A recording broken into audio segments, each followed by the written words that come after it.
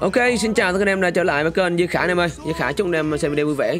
Ở video này thì sau buổi tống kim 21 dần ngày thì Khải sẽ lần lượt soi những cao thủ nằm trên top tống kim anh em.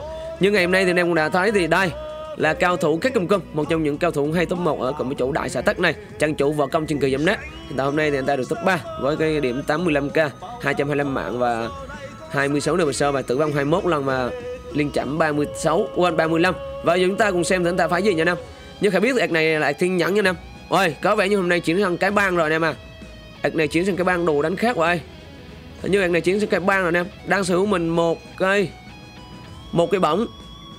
Tốc 10 sát thương 29 rồi, ok. Một cái nón làm chậm 30 sinh lực một lực.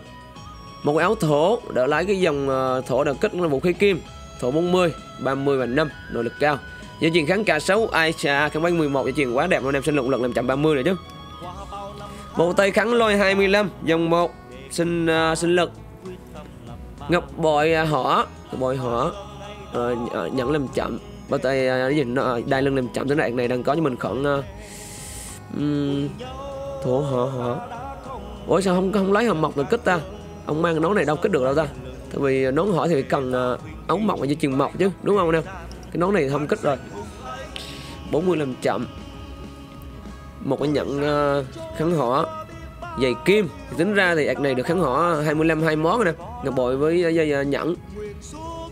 Bao tay kháng lôi cao khá là ngon dòng 1 hai món 520 thì tính ra ạc này được khoảng uh, 40 làm chậm mà thôi.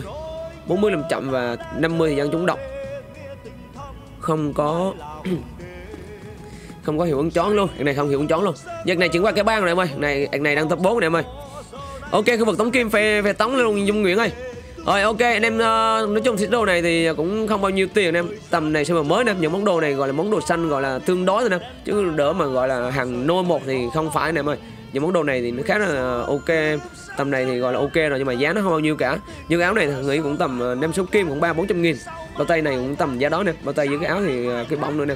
Rất, rất là ngon. Rất tiếc cái bóng này không đọc móc nè. Móc móc đọc là anh 10 thôi. Thì vào tổng kim thì cắn lách chứ cũng lên được một tí thôi còn không đọc móc bên ngoài ngồi chỉ được có 10 thôi nè. Gia truyền khá là ok truyền này dạng là đẹp rồi, tại vì server chưa có nhiều gia truyền kháng tất cả như thế này nè. Rồi, anh em xem video đây đừng quên ủng hộ cho các mình có một like chia sẻ ủng hộ với chơi nha nè. Cái này là như khải thấy là cái này thì cái bang hay sao nè. Khải nghĩ cái bang cũng không phải anh em, khải nghĩ chắc là anh này là, chắc chắn với anh em là ông này là con lông xét không? Tại vì lúc trước con lông xét đổi qua nè. Mà nghĩ tại sao con lông xét này mang bọng tóc đánh này nọ thì khải không rõ lắm.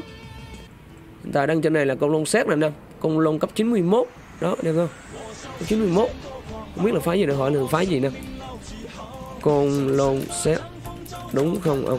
Tại vì hôm trước là con lông xét mà tầm này thì lại mang cái bóng này. Không phải là không biết là phải là cái bang. Anh em à, cùng dự đoán thì phải cái bang không anh em?